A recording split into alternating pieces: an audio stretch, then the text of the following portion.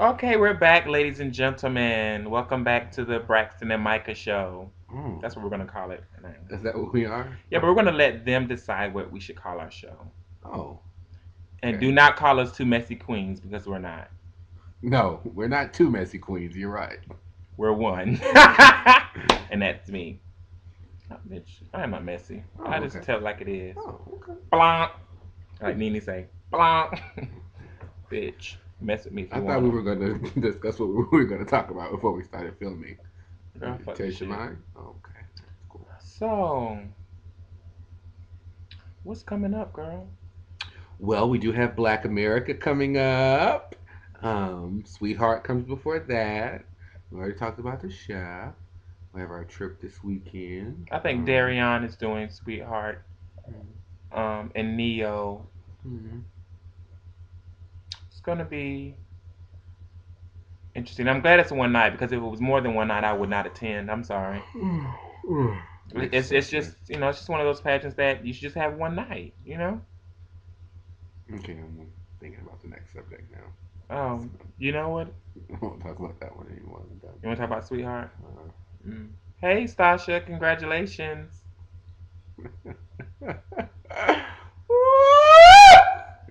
yes, definitely. Congratulations on your new title as Miss Ebony International 2011 2012. And Sergio, congratulations. I'll be judging his um, pageant in March. Oh, he has one of those? Yes, he, What pageant is that? um, Tri County. Had to think about it, huh? You know, so many pageants. You know, I, I had to Right. think about it. But Tri County, You judge so many, girl. I know. It's not anymore. You know, remember the ones that you're judging. Yeah, because I read them so bad. Not the contestants, the Oh. owners. So Oh, you know, I guess they kind of scared, girl. That I'm just gonna. I don't tell the contestants up because the contestants are just they're just doing the pageant.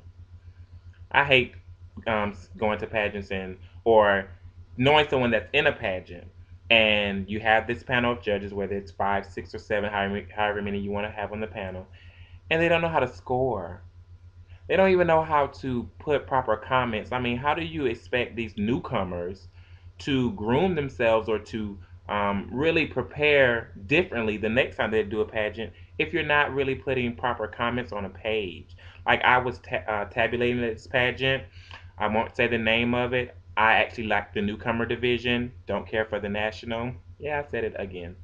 Um, but like there was a queen. Well, there was a former national title holder that was on the panel, and every time we got her score sheets, like she didn't say much to the contestant. So how does the contestant you're giving them a 15, but you don't really tell them what they need to improve on or give them any type of advice, you know, for the next So, do you guys have some type of handbook that you go by, or is this like freelance judging? No, there is there is. an actual point system that's in place that you can say, um, well, this point is justified, this is not justified? Definitely. Okay. Do you guys get that rule book before you get to sit on the panel? Yes. They're supposed to, like the promoters and the owners of the system are supposed to actually sit down with the panel of judges and advise them on what they're looking for, you know. Did they do that at that pageant? Well, I wasn't a judge. I was a tabulator. Oh, So I just had to make sure that the scores were consistent, Oh. and some of them were not. So therefore, we handed the score back to that young lady and said, "Ma'am, could you please correct this?" I'm not saying, uh, what is it, erase your score and put what we want, but at least have some um, validity to what you're putting on this piece of paper. I mean, if you're saying a 15, then why did this girl get a 15 out of 20? That's all. So I'm tired of people not knowing how to judge. Ladies and gentlemen, ladies and gentlemen, do not put people on your panel do not that do not know how to judge. Just because you are a former this, that, and the other thing does not mean that you can judge a pageant. Because people look at me and they look at a lot of other judges and say, "Well, how does she get to be on a panel? She's never judged, or she's never been in the pageant before." Baby, if you go to Continental, if you go to USA, if you go to Black Universe and Black America, there are people on that panel that have never been in the pageants. We have a conference call at 10 minutes? No, that's old. Oh, Yeah. it's about to be so over that. The conference call? Yeah. Oh, you want to do the conference call no more? No, not that I don't want to do one. I just don't think one is necessary today because we have a meeting tomorrow. Oh no, that that was for Wednesday. I ended up putting Thursday. My bad. No problem. Hmm. So yeah, so yeah, they, they do have a, a point system or a scoring system, and you know I hate when you see a girl with something's wrong with her zipper or him is incorrect, but you want to put two and three points off. But baby, that's really only one point. So let's talk about something interesting.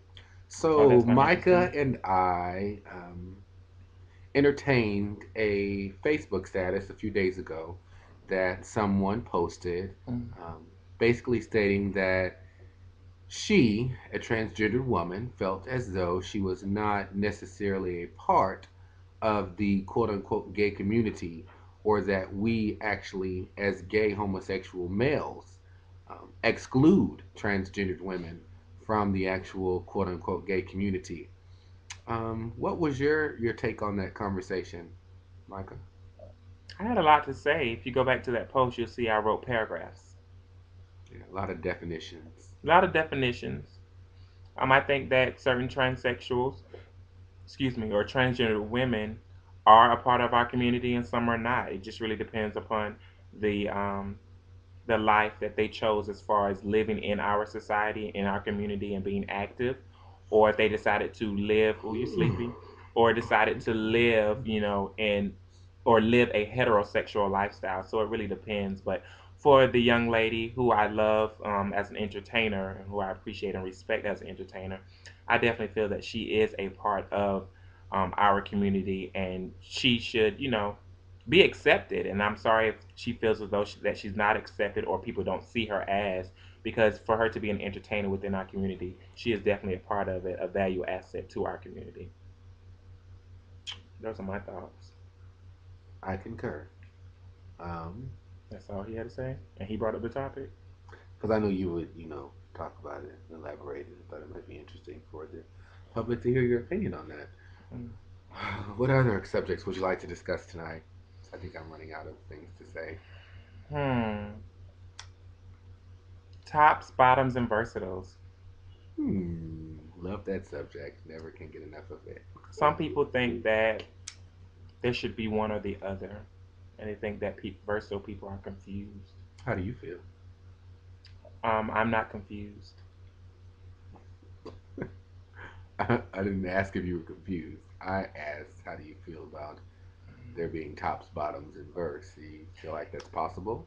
Oh, it's very possible because you have some people that only want to top. You have some people that only want to be plunged or be a bottom. Yeah, you know how they call Such it. taboo. Um, well, we keep it real on the Braxton and Micah show, okay. so I'm gonna need you to keep it real. I, I haven't Stop said all the anything. political bullshit, baby. Look, I haven't said anything unreal yet. Um, but yeah, so I, I think that you know there are tops, there are bottoms, and there are there are people that like both. Um, and then they come up with this, oh, I'm a versatile top, or I'm a versatile bottom. Baby, you are top, bottom, or versatile. Pick one.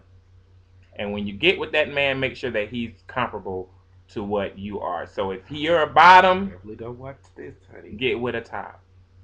If you're a top, get with a bottom. If you're versatile, get with someone who's versatile. Yeah, I think that it's very important that versatile homosexuals do get into relationships with other versatile homosexuals so that you don't get into those sexual arguments when that person that's used to being a bottom all the time doesn't want to be a top or can't get hard to top you. Girl, you knew that shit when you started.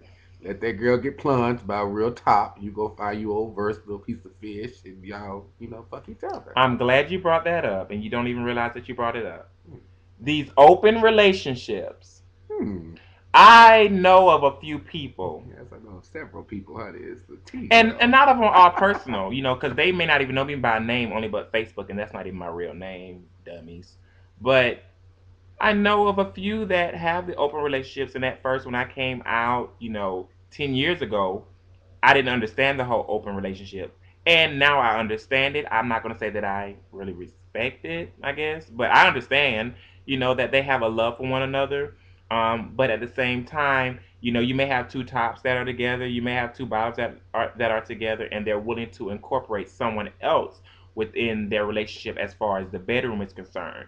Now, I understand that because that's the sexual part of it, but you don't have any type of emotional attraction to these individuals that you're bringing into your bedroom. But what I do have a problem with is that when you're in a relationship and both of you are actually out there actively pursuing other people.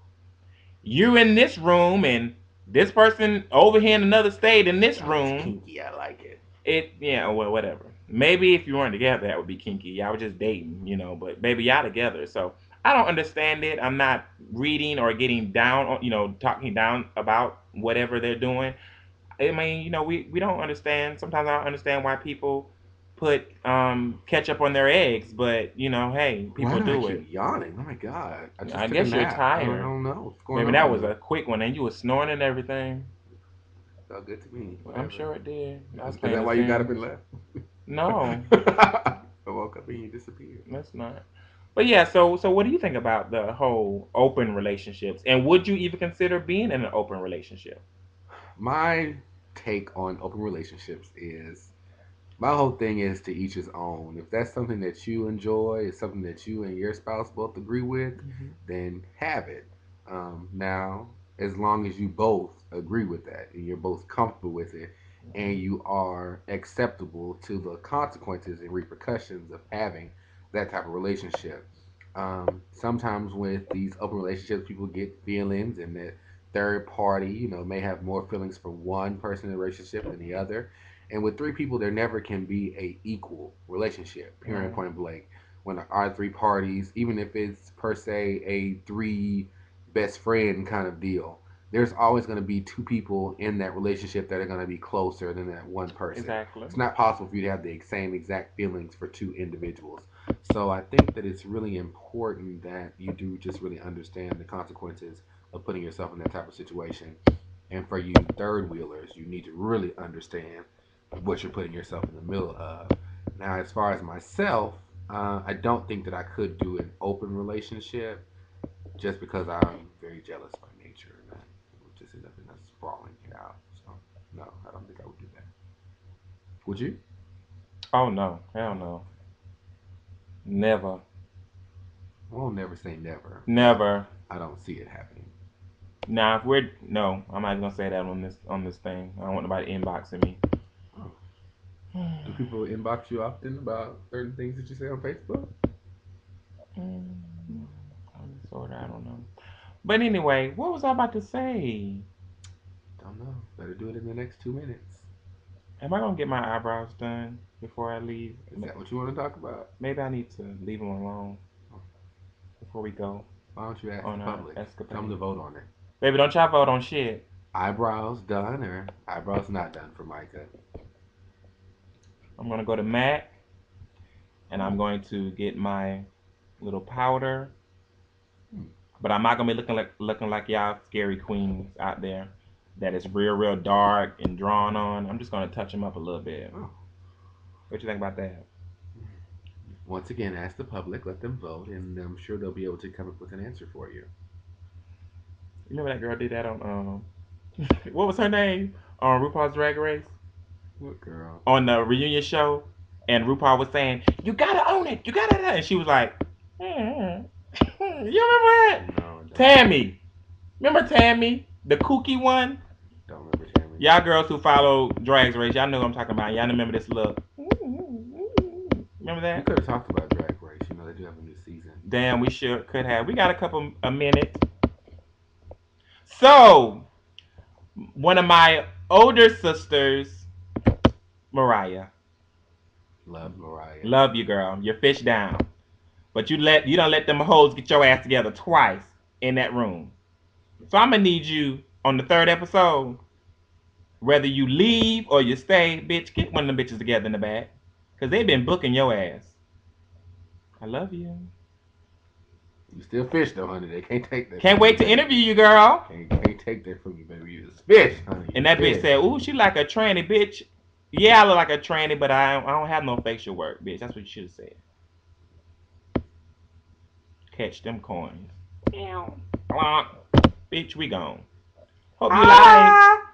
Peace out, bitches. Go fuck yourselves tonight. Bye, Kenya. Bye, Mama Raquel. What's your daddy name? Al. Bye, Mr. Ferguson. I sound like a teacher, girl. He's a good teacher.